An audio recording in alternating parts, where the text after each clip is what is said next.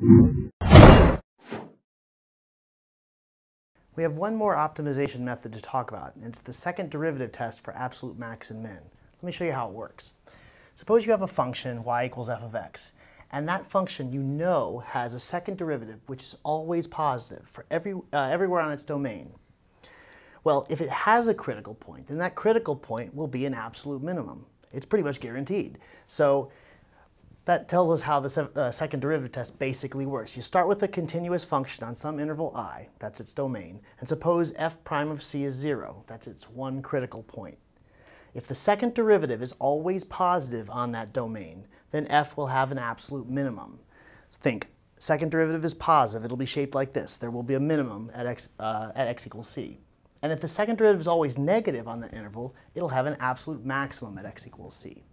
That's the second derivative test. Remember, the second derivative has to be always positive or always negative.